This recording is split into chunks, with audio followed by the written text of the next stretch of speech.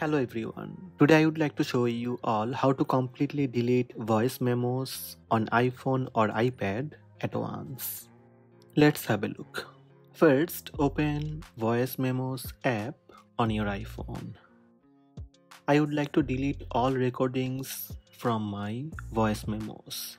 If you would like to delete multiple recordings at once, tap edit button on top right. Drag your finger across the recordings you want to select. You will see a blue check mark on each one. Keep dragging to select all.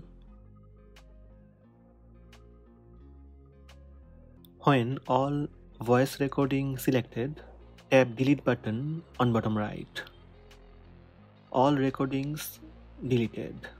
Now to completely delete voice recording from your iPhone or iPad, go back to voice memos and select recently deleted.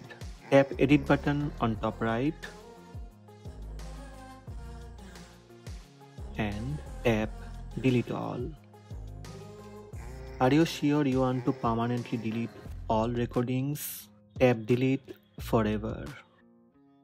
That's it. These are the steps to delete multiple voice memo recordings at once on iPhone and iPad.